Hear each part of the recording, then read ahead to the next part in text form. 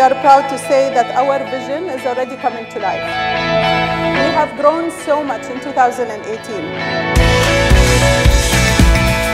I would like to thank Shireen, Masa, Army, and Johnson for all of their energy and support that they've extended to the cohort and beyond. And finally, I would like to thank the startups for their ambition, their courage, their innovation, and their commitment to deliver on their promises.